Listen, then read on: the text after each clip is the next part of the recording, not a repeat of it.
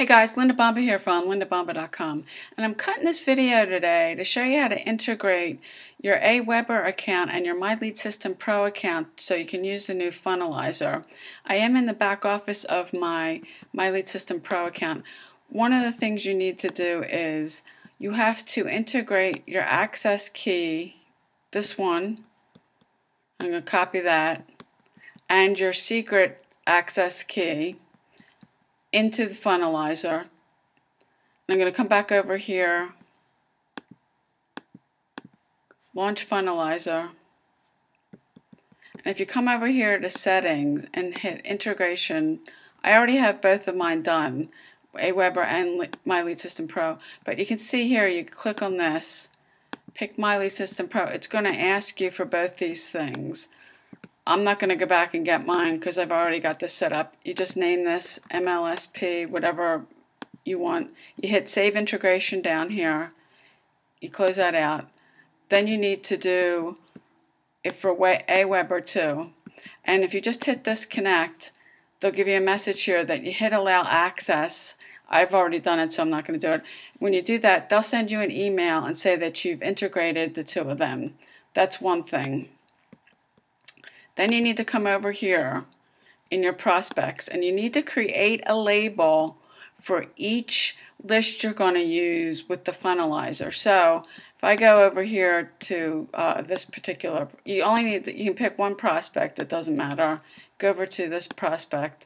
You can see here I've set up, she's on my, well this is my newsletter list, but these are a couple labels I made. You just click add here. You have to actually put the name of the list. Like this is another one on my list.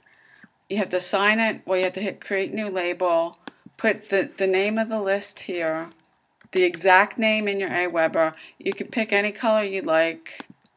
You hit add label, and then I already have, um, well, but the, and hit save labels, and you can see the two of mine are there too. So you need to do that for every single list that you have. I'm going to go back out of this I'm going to go back over to Funnelizer.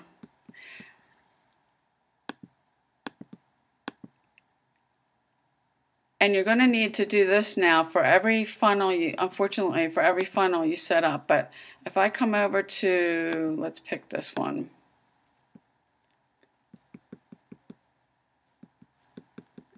Come over here and edit it.